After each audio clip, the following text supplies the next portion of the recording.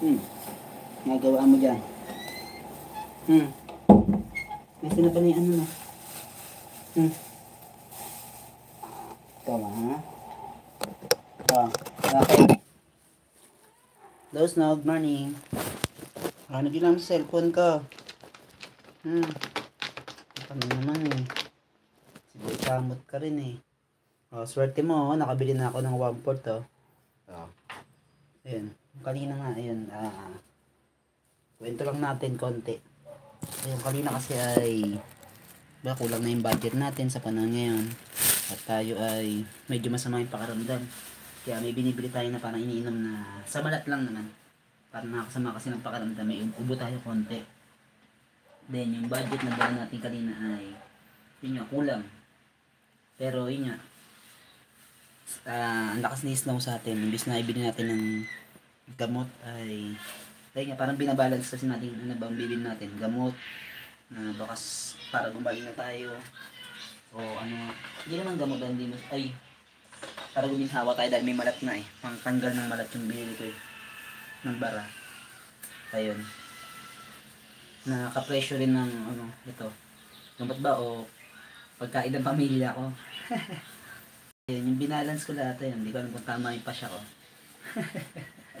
Ayan, yung sabihin ko ay tinapay para sa pamilya ko.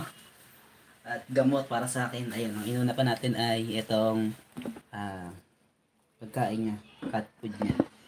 Hmm, kasi wala na siyang cat food. Kasi ang inisip ko nga ay, yun yung gamot pwede na.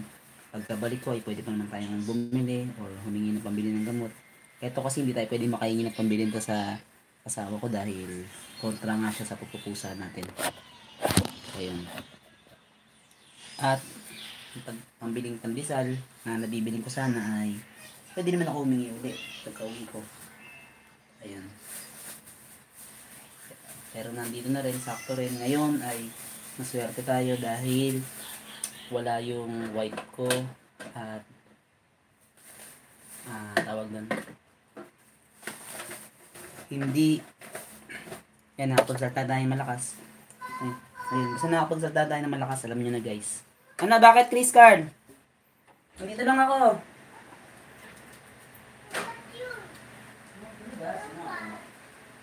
No ba? Kasi snow eh. Ano no?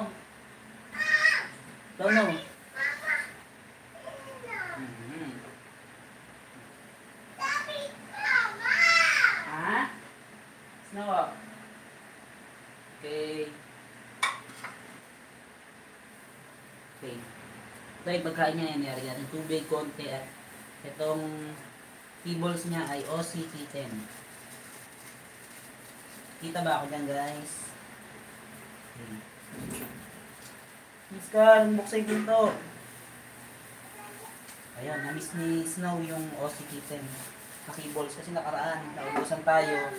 Ang kinakain niya ay puro itlog.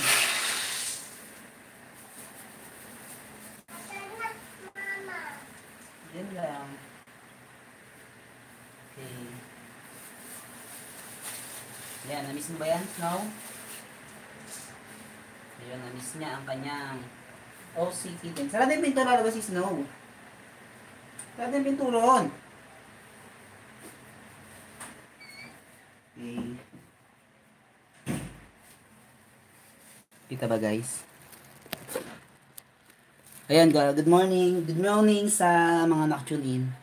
No, at nandito tayo sa room ni Snow. Ayan, mayabang tayo. Malakas yung boses natin ngayon.